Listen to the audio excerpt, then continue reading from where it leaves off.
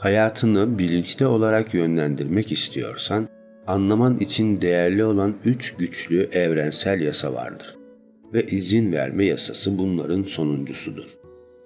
İlk yasadan, sonra ikinci ve son olarak üçüncü yasadan bahsetmemiz mantıklı görünüyor. Bununla birlikte bu üçüncü önemli yasayı vurguluyorum. Çünkü buraya bu zaman ve uzayda ustalaşmak niyetiyle geldiğin şey gerçekten yasadır. Geldiğin gibi yapıcı olmak istiyorsan uygulaman gereken yasa budur. İlk yasa çekim yasası senin uygulaman gereken, daha doğrusu senin çalıştırabileceğin bir şey değildir. Çünkü evrenin her parçacığında var olan bir yasadır. Tıpkı yer çekimi yasasının hiçbir uygulama gerektirmemesi ancak tüm maddelere tutarlı bir şekilde yanıt vermesi gibi çekim yasasının da uygulamaya ihtiyacı yoktur. Düşmekten kaçınmayı öğreten yer çekimi eğitmenleri yok. Çünkü düşmek bir seçenek ya da sorun değil.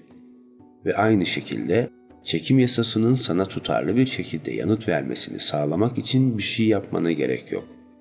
Çünkü o sana titreşimine uygun şeyler getirecek ve bunu yasadan habersiz olsan bile yapacak. Bu üç güçlü evrensel yasadan ikincisi kasıtlı oluşturma yasasıdır. Dikkatini ve düşüncelerini kasten arzu ettiğin sonuca yönlendirerek istediğin her şeyi yapabilir veya sahip olabilirsin. Bu güçlü yasanın uygulanması üzerinde yaşadığın bu muhteşem gezegenin ve görebildiğin her şeyin tezahürüyle sonuçlandı. Yaradan dünya gezegeninde yaşam dediğimiz bu ortamı yarattığı gibi fiziksel bakış açından bu inşa sürecine devam ediyorsun. Ve bu ilk iki yasa son derece önemliyken ve onlar hakkındaki farkındalığın senin ve var olan her şey için çok büyük bir değer taşırken bu üçüncü yasayı izin verme yasasını anlaman ve uygulaman gerçekten tüm kişisel gücün için önemli. Çekim yasası kendine benzer olanın özü inşa edilir der. Ve bunun anlamı şudur. Deneyimlerimde yakın zamanda meydana gelen koşullar nedeniyle takdir edilmediğimi hissedersem, çekim yasası beni takdir eden insanlarla beni çevreleyemez. Bu çekim yasasına aykırıdır. Kendimi şişman ve bedenimin görünüşünden ve hislerinden mutsuz hissedersem, iyi hisseden, güzel görünen bir bedene ulaşmak için gerekli olan süreci veya ruh halini keşfedemem. Bu çekim yasasına aykırıdır. Mali durumum konusunda cesaretim kırılırsa bu durum düzelemez. Cesaretsizlik karşısında iyileşme çekim yasasına aykırıdır.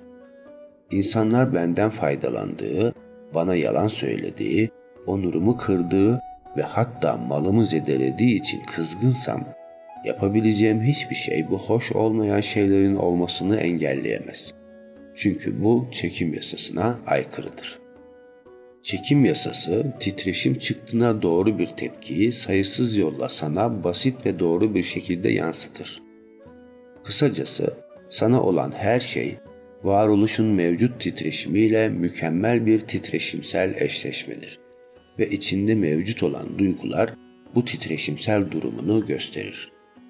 Çekim yasasının farkına vardığında birçok insan kendi düşüncelerini daha fazla kontrol altında tutmak için bilinçli bir karar verir.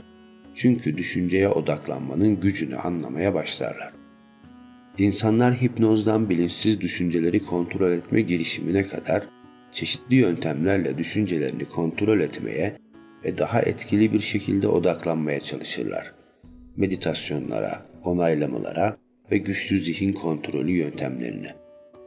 Ama kendi deneyiminin kasıtlı oluşturmasına geçmenin ve bu neşeli yaşam deneyimi için niyetini gerçekleştirmenin çok daha kolay bir yolu vardır ve bu izin verme sanatının anlaşılması ve uygulanmasıdır. Arzu ettiğin şeylerin genel yönünde düşüncelerinin bilinçli, nazik bir şekilde yönlendirilmesidir.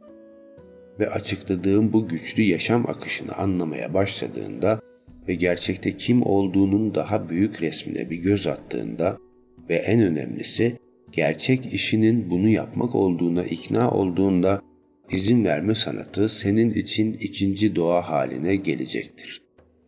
İnsanların bir durumu kontrol etmelerini ve kişisel dengelerini kazanmalarını engelleyen en yaygın yanlış anlama, istediğim yere hemen ya da olabildiğince çabuk ulaşmam gerektiği inancıdır.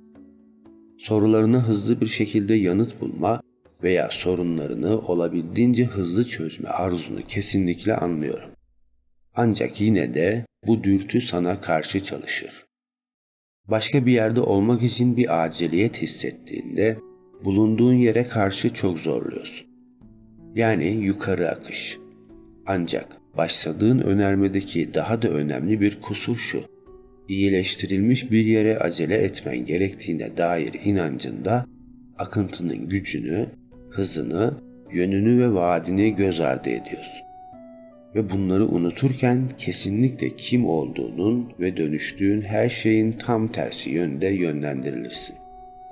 Şimdi dikkatini bir kez daha yukarı aşağı analojiye çevir ve bir an için akıntıya karşı yukarı yönde kürek çekiyor olsaydın ve sonra aniden öylece kürek çekmeyi bırakırsan hissedeceğin rahatlama hissini hayal et. Akışa teslim olmak ve sadece seni döndürmesine ve seni akıntıya götürmesine izin vermek.